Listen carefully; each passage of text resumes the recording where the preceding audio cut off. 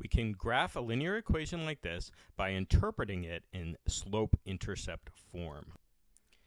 This means it can be expressed in the form y equals something times x, the slope, usually represented with an m, plus b, or the y-intercept, which means in this particular case, my slope will be negative one-third, because it's in the place of the m in the slope-intercept form equation, and my b my y-intercept is going to be a negative 2 because we know that subtracting 2 is the same as adding a negative 2.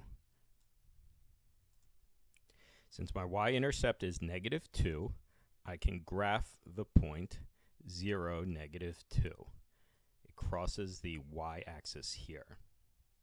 Now I can use my slope of negative 1 over 3. That means I'm going to go down 1. I have a rise of negative 1 and a run of a positive 3. So starting from my originally marked spot, I can go down 1 and over 3, and I find my next spot on the graph. Again, down 1 over 3, like so.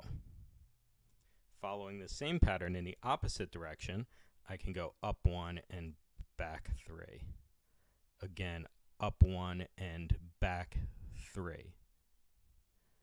So all those points we see they make a nice straight line and I can simply connect those to make my graph of my original equation which is y equals negative one-third x minus 2. Again, my y-intercept is at negative 2 and I have a slope of negative one-third meaning I'm going down one every time I go over three. Hope that helps. Thank you.